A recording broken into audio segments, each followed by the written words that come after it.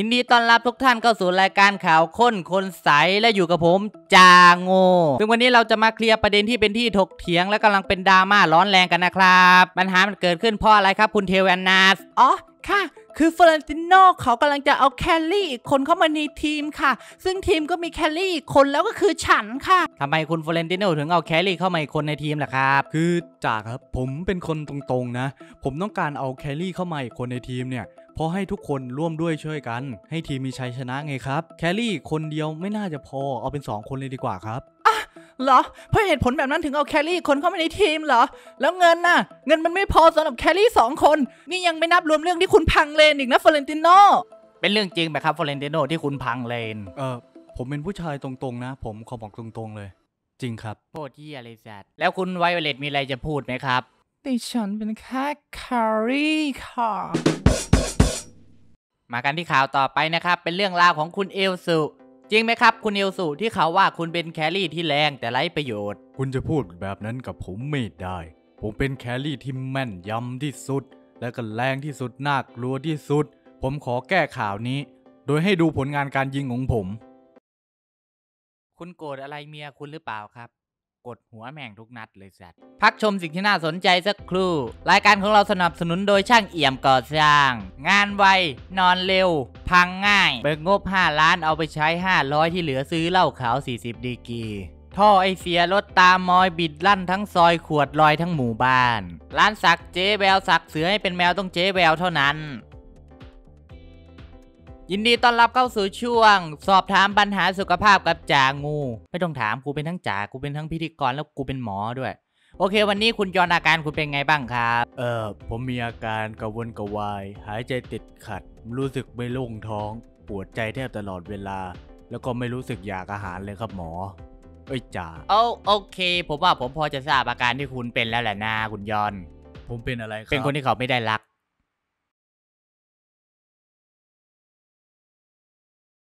มากันที่ข่าวต่อไปนะครับ ทางสำนักข่าวของเราได้รับการรายงานมาว่า มีนักเล่นเกมหลายคนรวมหัวกันฟ้อง เพราะว่าโดนกลโกงจากมิจฉาชีพ ซึ่งผู้ต้องสงสัยก็มานั่งอยู่กับเราในวันนี้แล้วนะครับ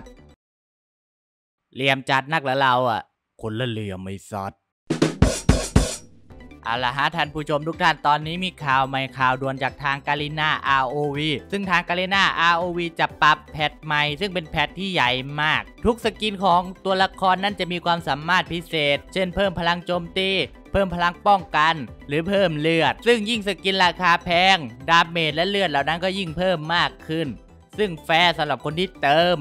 โอ้ เป็นข่าวดีนะครับ ข่าวดีพ่อมึงสิ fake news ไอ้สัตว์ เอาละฮะมากันที่ข่าวต่อไป ซึ่งเป็นเรื่องปกติที่เกมกาลิน่า ROV นั่นจะคอสโอเวอร์กับแอนิเมชันหรืออะไรที่มันดังๆ ซึ่งการ crossover ครั้งต่อไปของกาลิน่า ROV นั่นคือแอนิเมชันชื่อดังอย่าง Boku no Pico ฮะ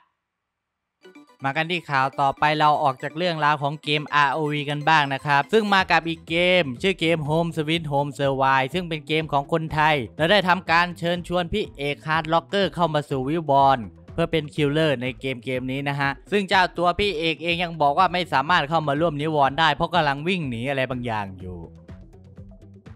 มากันที่ข่าวต่อไป ทุกคนรู้กันดีเกี่ยวกับเว็บไซต์ Popcat ซึ่งเป็นการคลิก ตอนนี้อันดับของไทยตกอยู่อันดับที่ 2 รองจากไต้หวัน ดังนั้นคนไทยทุกคน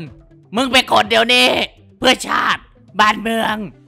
และความมั่งคั่ง เราจะแพ้ศึกครั้งนี้ไม่ได้สหาย ถึงมันจะเป็นเรื่องไร้สาระ แต่ไทยเราจะไม่แพ้ เราจะสู้ไปด้วยกันเพื่อชาติ ครับนี่คือรายการข่าวข้นคนใสครับ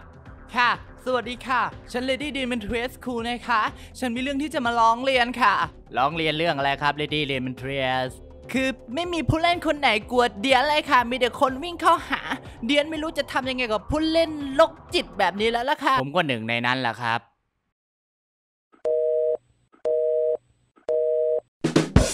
โอเคครับมาที่ข่าวต่อไป เราได้รับเรื่องร้องเรียนมาจากคุณเลส จากเกม Among Us นะครับ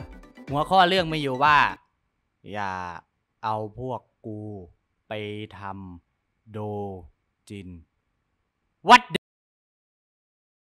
เอาละครับแล้วก็มาถึงข่าวสุดท้ายของวันนี้นะครับ เออเป็นการประกาศตามหาคนหายจากลูฟี่หมวกฟางกลุ่มโจรสลัดหมวกฟางนะครับซึ่งกำลังประกาศตามหาบุคคลในภาพนะครับที่ชื่อโรโรโนอาโซโร คลาดกันที่เกาะวานกคุนี่หันหลังให้ 2 วิแล้วก็ไปออดหลอด และบอดแสล่าสุดมีคนพบเจออยู่ที่หมู่บ้านโคโนฮาก่อนจะหายตัวไปอีกรอบ ถ้าใครพบเจอตัวกรุณาติดต่อกลับมาที่กัปตันลูฟี่หมวกฟาง พร้อมค่าจ้าง 2 บาท ช่วยๆกันนะครับ คนญี่ปุ่นเหมือนกันไอสัตว์กูคนไทย